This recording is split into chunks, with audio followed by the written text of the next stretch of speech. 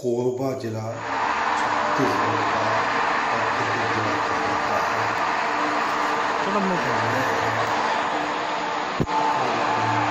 उपनगर कटघोरा क्षेत्र, जहाँ कोरोना का हॉट स्पॉट बन चुका है और संपूर्ण ताकत लगाकर छत्तीसगढ़ सरकार इसे कंट्रोल करने की कोशिश में जुट गई है।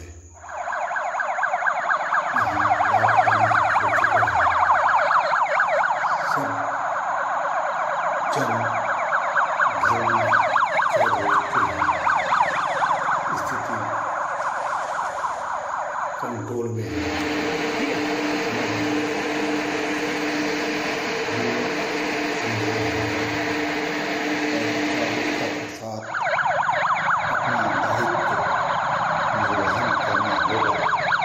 Thank you.